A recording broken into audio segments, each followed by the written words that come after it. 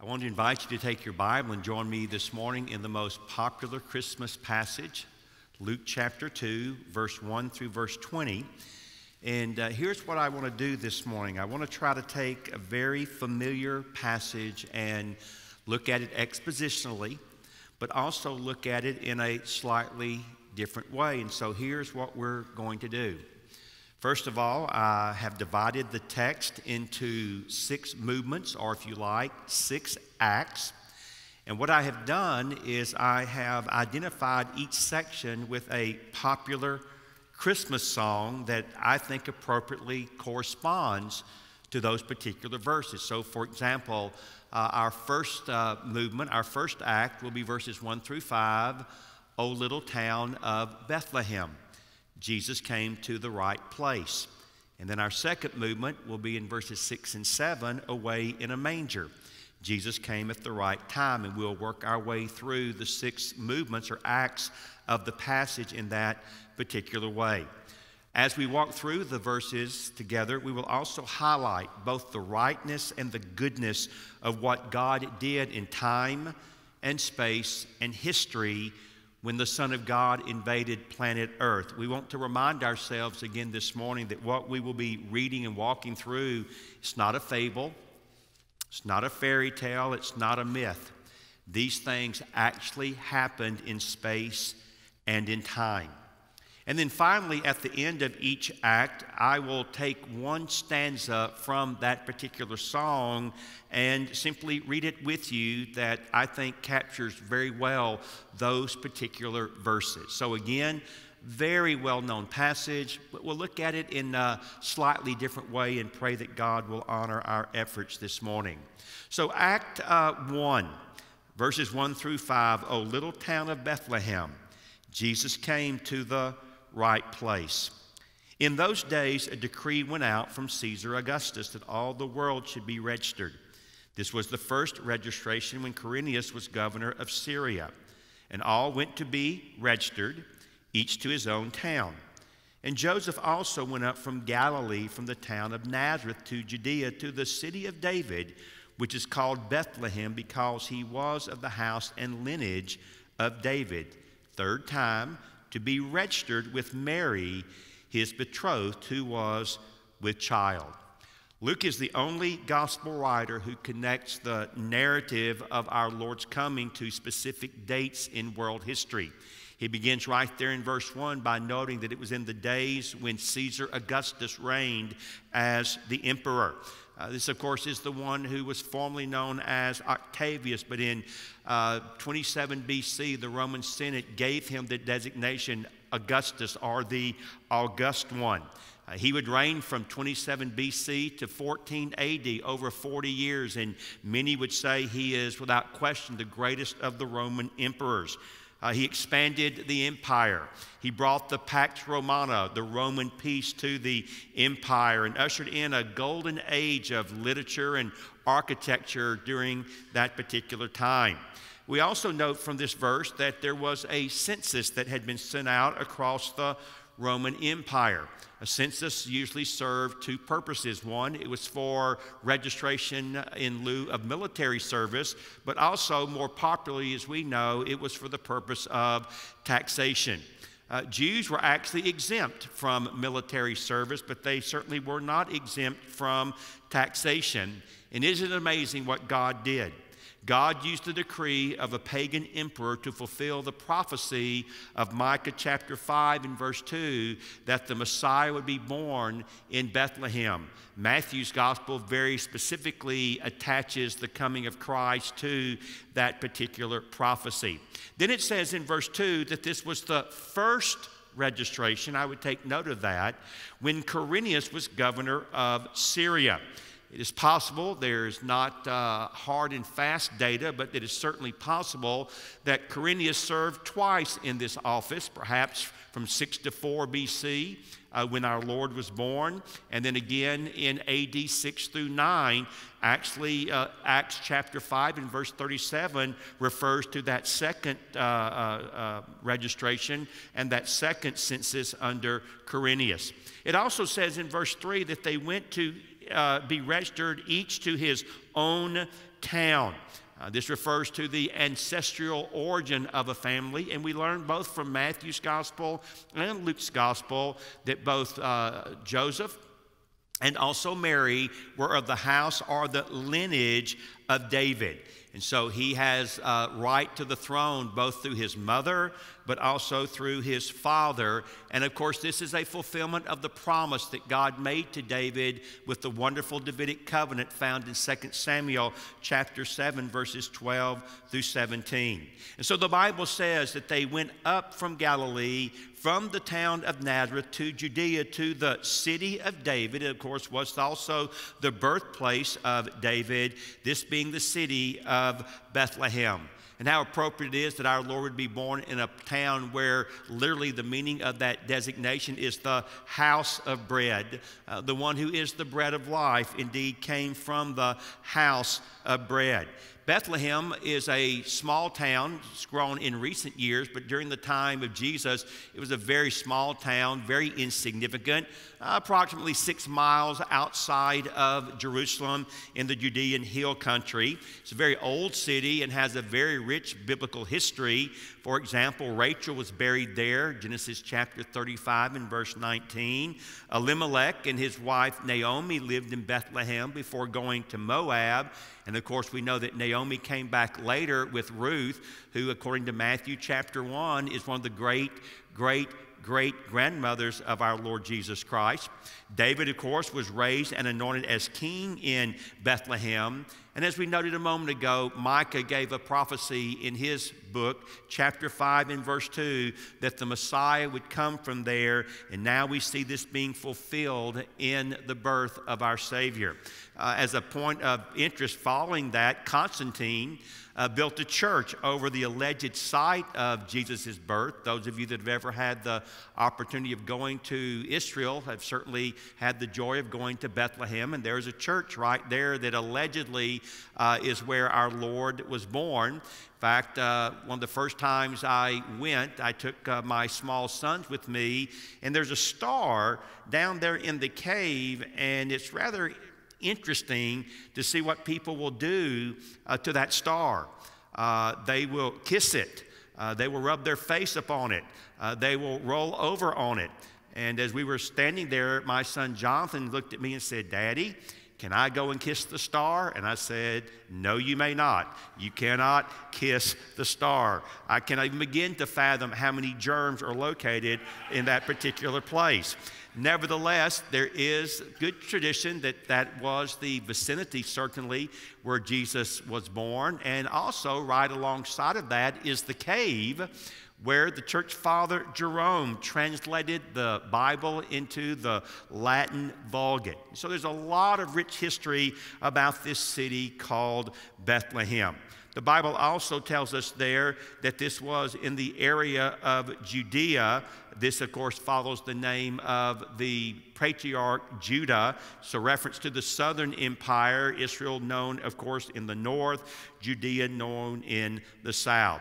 And verse 5 also informs us that as Joseph went back to his city of origin to be registered for the taxation, he also took with him Mary, whom the Bible describes as his betrothed, who also, it says, was with a child. Of course, betrothal is more than an engagement. It is less than a full marriage. Legally, they were married but yet the marriage to this point had not been consummated. And so they go together, and she goes pregnant because we know from Matthew's account as well as Luke's account that that which was in her womb had been conceived by the Holy Spirit in fulfillment of what was read a moment ago, Isaiah chapter 7 and verse 14.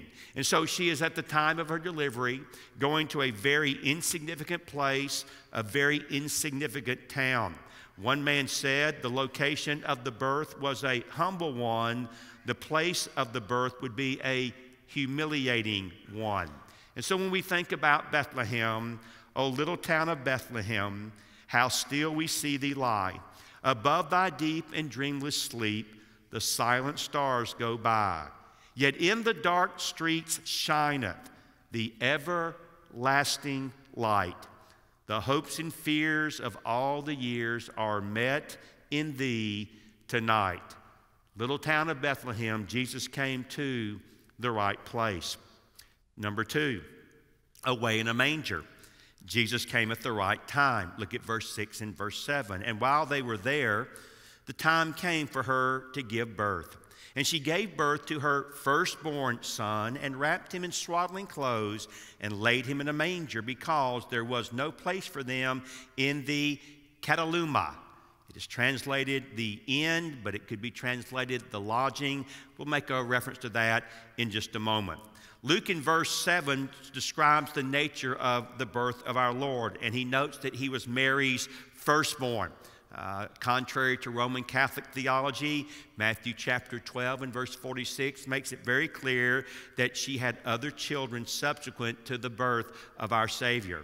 The Bible also says of her firstborn, she wrapped him in swaddling clothes. They were simply strips of cloth that were used to help bind a baby's body.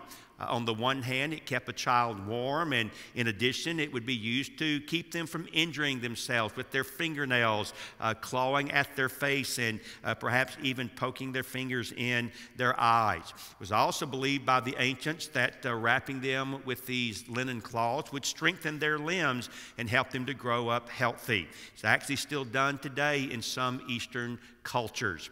It says that he was born in a manger, nothing less than a feeding trough for animals. Now, there is, of course, the notion that Christ was born in a stable, though nowhere in the Bible does it say that. There's an ancient tradition that says that he was perhaps born in a cave, which was used as a shelter for the animals. But again, no actual description is ever given in the Bible. What we are told, though, at the end of verse 7 is there was no place for them in the inn. But what we need to note is that word inn is the Greek word kataluma. It literally or simply means a lodging. Now, it can refer to an inn but it can also refer to a guest room in a private home. Furthermore, animal stalls with their mangers were normally located inside the one room residence of peasant families. Yes, it is also true that they were kept in caves as well. And so, an early Christ- Christian tradition places the location of our Lord's birth in that cave. The fact of the matter is, we cannot know for sure where our Lord was born, but we can know for sure in verses 8 through 12 why our Lord was born. And so, away in a manger, no crib for a bed, the little Lord Jesus laid down his sweet head. The stars in the sky looked down where he lay. The little Lord Jesus asleep on the hay. He came at the right time. Movement number three, O come, O come, Emmanuel. Jesus came for the right reason. Verse 8. And in the same region, there were shepherds out in the field keeping watch over their flock by night. And an angel of the Lord appeared to them, and the glory of the Lord shone around them, and they were filled with fear. And the angel said to them, Fear not, for behold, I bring you good news of great joy that will be for all the people. For unto you is born this day in the city of David a Savior, who is Christ the Lord. And this will be a sign for you. You will find a baby wrapped in swaddling clothes, lying in a manger. Luke now moves from the birth of our Lord to its proclamation. This, by the way, is the third eyewitness account that you have in the Gospel of Luke. Prior to this, there was an appearance of angels to Zacharias, chapter 1, verses 5 through 25. And of course, there was an appearance of an angel to Mary in chapter 1, verses 26 through 38. Luke notes that Jesus comes for the right reason because he comes, as the text tells us in verse 11, as Savior, as Christ, and as Lord. And isn't it interesting that God chose to appear to a group of shepherds who are out in the field watching their flock by night? Uh, the shepherd fields, by the way, you can still see to this day. They're outside of Bethlehem, about two miles located outside the city proper.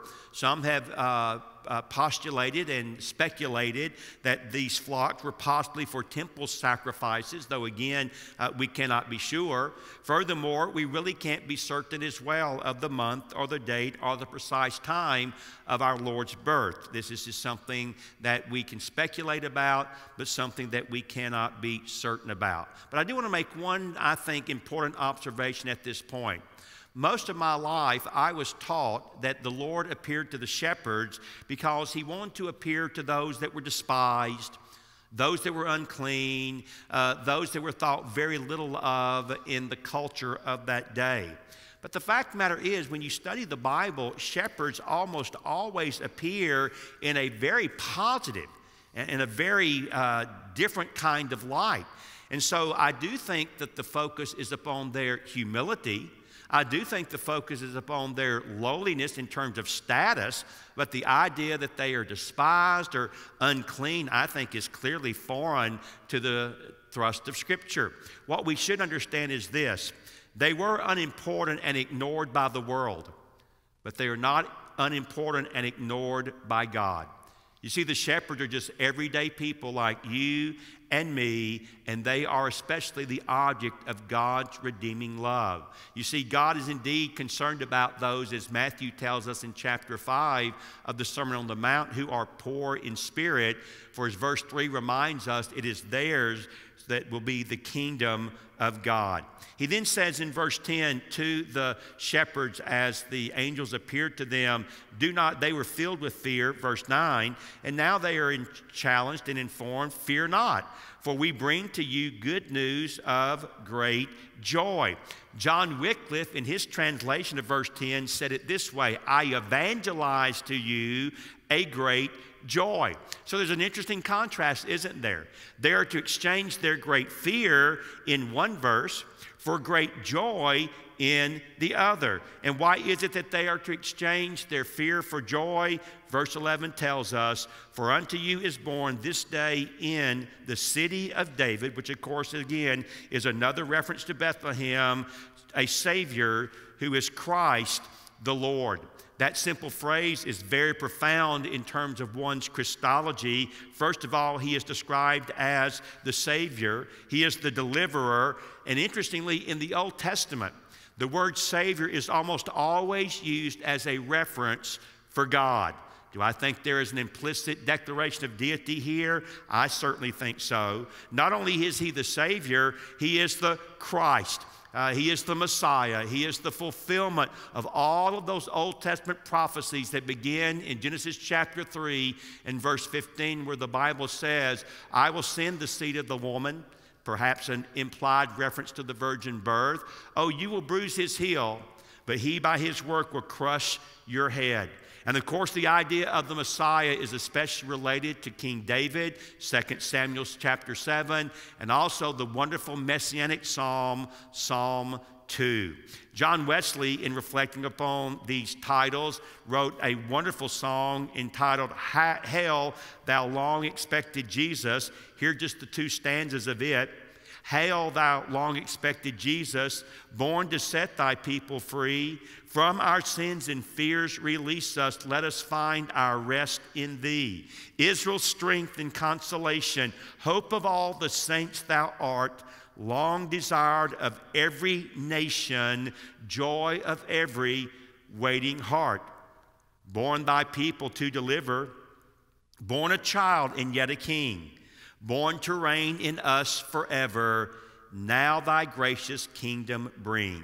By thine own eternal spirit, rule in all our hearts alone. By thine all sufficient merit, raise us to thy glorious throne. He is the Savior, He is the Christ, He is also the Lord. Interestingly, that term kurios or Lord was ascribed to the Roman emperor, but it was designated to that particular individual by men. The one that was born this night in Bethlehem is designated as Lord not by men, but is designated so by God. And so a sign is provided to the shepherds as they will come and observe the birth of this king. He will be wrapped in swaddling clothes and he will be lying in a animal feeding trough. He will be lying in a manger. One man said it this way the Messiah's crib is a place where animals eat and drool. No child born that day had less hopeful prospects nor a more dismal future. Yet deity has invaded planet Earth not as a prince, but as a pauper. And my friend Darrell Bock points out very well Messiah's life will contain an unusual bookend for a king, since he was born in an animal room and he will die with robbers. And so the song, O come, O come, Emmanuel, O come, desire of nations, bind all peoples in one heart and mind, bid envy, strife, and quarrel cease, fill all the world with heaven's peace. Rejoice, rejoice, Emmanuel shall come to thee O Israel. O come, O come, Emmanuel. Jesus came for the right reason. Number four, hark the herald, angels sing. Jesus came with the right choir. In a sense, God speaks for the first time in 400 years, and He puts on glorious, visible display His glory. Verses 11 and 12 have given us the count, the account of his coming to the shepherds. Now in verse 13, we see what they say. Suddenly there was with the angel a multitude of the heavenly host, praising God and saying, Glory to God in the highest, and on earth peace among those with whom he is pleased. It's interesting to note that angels praise God at the creation Job 38, verse 7. They also praise God at the incarnation, Luke 2, verses 13 and 14. And they also rejoice at the salvation of sinners, Luke chapter 15 and verse 10. The word host there stands for uh, a military, is a military term which stands for a large band of soldiers. And now they are praising the highest one in the highest way, offering their praise to the one who has come to save us. And what do they sing? Glory to God in the highest. They are ascribing the highest possible praise to the one who has sent a Savior to save us from our sins. He is, of course, as we just read, the Savior, Christ the Lord. And as we just read, He has come for all people. But yet the text is very clear. Though he has come for all people, all people will not benefit from his coming, but only those who receive him by faith as personal Lord and personal Savior. In this particular passage, the Bible speaks of them as men with whom he is well pleased. And so God indeed has come to women like Anna. He has come to men like Simeon. He has not necessarily come to men like Augustus or men like Herod or men like Pilate. And yet in Jesus, heaven and earth, angels and humanity come together rejoicing in the great gift of our God. So we sing my favorite Christmas song, Hark the Herald Angels Sing. Glory to the newborn King. Peace on earth and mercy mild, God and sinners reconciled. Joyful all ye nations rise, join the triumph of the skies. With angelic hosts proclaim, Christ is born in Bethlehem. Hark the herald, angels sing, glory to the newborn King. Jesus came with the right choir. Movement number five go tell it on the mountain. Jesus came to the right persons, verse 15. When the angels went away from them into heaven, the shepherds said to one another, Let us go over to Bethlehem and see this thing that has happened, which the Lord has made known to us. And they went with haste and found Mary and Joseph and the baby lying in a manger. And when they saw it, they made known the saying that had been told them concerning the child. And all who heard it wondered at what the shepherds told them, and then moved to verse 20. And the shepherds returned, glorifying and praising God for all that they had heard and seen as it had been told to them. Uh, the announcement by the angels to the shepherds moved them to action. Again, Darrell Bock says they set off nothing less than an evangelistic chain reaction. And they indeed obeyed immediately, and the text says they came with haste. They moved quickly and they moved in obedience to this thing which the Lord has made known to us. And so they came to Bethlehem. Uh, they came to the place where the baby was, and what did they see? Well, the text is very clear. They saw his mother, Mary. They saw his stepfather, Joseph, and they saw the baby just as they'd been told, the little Lord Jesus, lying in a manger. Verse 20 then tells us something wonderful about the shepherds. They now, now keep this in mind, they now take on the assignment of the angels. In other words, they became the first evangelist, or what I like to refer to as the Christian evangelist, the Christmas evangelist, and they begin to proclaim the good news of the Lord Jesus Christ. And verse 20 tells us they returned glorifying, praising God for all they had heard, all they had seen, all that had been told to them. And going back to verse 18, all who heard it wondered at what the shepherds told them. And so again, my mind goes to one of our favorite Christmas hymns, Go Tell It on the Mountain. Go tell it on the mountain over the hills and everywhere. Go tell it on the mountain that Jesus Christ is born. Down in a lowly manger, the humble Christ was born, and God sent us salvation that blessed Christmas morn. So, go tell it on the mountain, over the hills and everywhere. Go tell it on the mountain that Jesus Christ is born. He came indeed to the right persons. But movement number six, and perhaps the most tender of all, Mary, did you know? Jesus came through the right woman. Verse 19, very simple, very direct, very short. But Mary treasured up all these things, pondering them in her heart. As Reformation Christians, as Protestants, uh, we do not worship Mary but we certainly should honor Mary. We should not throw out the theological baby with the theological bathwater because of an excess that we find in certain traditions, because she certainly is the most noble woman who's ever been born.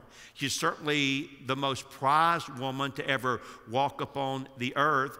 Think about it. She is the only human being, as far as we know, who was with the Lord Jesus from the day he was born to the day that he ascended back into heaven. And so, re- reflecting upon and meditating upon and thinking about what has occurred with the birth of her baby boy and the coming of the shepherds, the text says Mary kept, Mary treasured, Mary pondered all of these things in her heart. She went over these things that she had seen and what she had heard again and again and again the idea is there is ongoing contemplation and ongoing uh, reflection. And indeed, as I mentioned a moment ago, she is the only human being who will be with the Lord Jesus from the beginning of his life to the end of his earthly life. A.T. Robertson, the great Greek scholar, said it this way Did Mary also keep a baby book? May Luke not have had opportunity to see it. In other words, he did not have the opportunity to investigate or interview the angels, but he certainly could have interviewed the shepherds. I have no doubt that he interviewed Mary. Mary, did you know that your baby boy is the Lord of all creation? Mary, did you know that your baby boy will one day rule the nations? Did you know that your baby boy is heaven's perfect lamb, and the sleeping child you're holding is the great I am. It is again one of our favorite Christmas hymns, uh, written uh, and uh, published by Isaac Watts. And yet, interestingly, the hymn was not written for his first coming, the hymn was written for his second coming. And if you pay close attention to the words, it's very easy to recognize that is indeed the case. I speak of the hymn, Joy to the World. The Lord is come. And so I close our study this morning and we prepare to take up our Lottie Moon Christmas offering, reflecting again upon the gift that came many years ago, but the gift that also will soon come again. Joy to the world, the Lord has come. Let earth receive her King. Let every heart prepare him room, and heaven and nature sing, and heaven and nature sing, and heaven and nature sing. Verse 4 he rules the world with truth and grace and makes the nations prove the glories of his righteousness and the wonders of his love, the wonders of his love, the wonders, the wonders of his love. Indeed, there is joy for the world, a joy that we must take, a joy we must share, and a joy we must see go to every tribe, every tongue, every people, and every nation. That's what Southern Baptists are about when they take up their Lottie Moon Christmas offering. That's what Southern Baptists are about in our efforts to get the gospel around the globe. And so I'm going to invite those who will be taking up our offering this morning to make their way down here at the front. I'm going to pray for us, and then we're going to take our offering and we're going to sing and rejoice over the one that came to save us from our sins, Jesus Christ the Lord. Let's pray. Heavenly Father, I thank you so much for these very, very familiar verses. I fear that we can read them over and over again to such an extent that we are no longer uh, put in awe of what exactly took place 2,000 years ago when you sent Jesus, the Savior, the Christ, the one that is indeed the Lord. And how we thank you that in amazing grace and goodness, He came down to us, for we certainly could not have arisen to Him. And how we thank you that in your divine providence and your sovereign wisdom, He did not come so much as a king, but as a very simple man, a very simple baby, born into a situation that, Lord, seemed all but helpless. That is, again, Lord, a reminder of where your heart is. You care for the disenfranchised. You care for the hurting. You care for those that the world ignores. And how we praise you that you don't do that like the world does, because many of us in this room would acknowledge uh, we come from very humble roots. Uh, there's no reason that anyone should pay attention to us. And yet, in your great grace, you did, and you saved us. But Lord, you not save us simply to take us to heaven. You saved us that we might indeed take the good news to those who've never heard. And Lord, one of the ways we do that is by praying and interceding for the nations.